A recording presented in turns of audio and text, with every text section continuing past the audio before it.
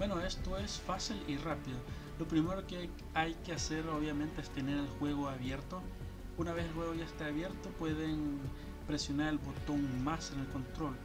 Váyanse a la parte donde dice menú, seleccionar la opción asistencia, presionar el botón A y después lo que va a pasar es que va a aparecer como una serie de textos, por así decirlo, o de, o de, de hecho son ah, preguntas.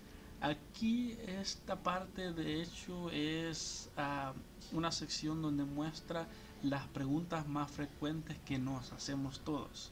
Como por ejemplo, eh, bueno, ¿qué puedo hacer para eliminar mi cuenta de Epic Games?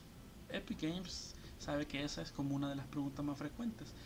Entonces, eh, tiene una respuesta para esas preguntas más comunes para no tener que estar contestando esas preguntas uh, tan tan seguido, ¿verdad? Para eliminar o disminuir, más bien dicho, el volumen de uh, asistencia que tienen que dar a, a las personas.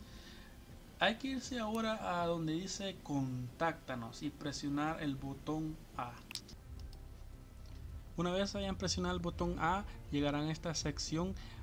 Eh, hay algunas opciones que no se pueden seleccionar, así que esas ignórenlas.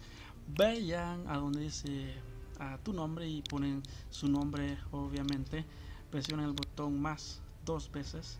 Después vayan a donde está la sección del correo electrónico, el campo para ingresar al correo electrónico, perdón.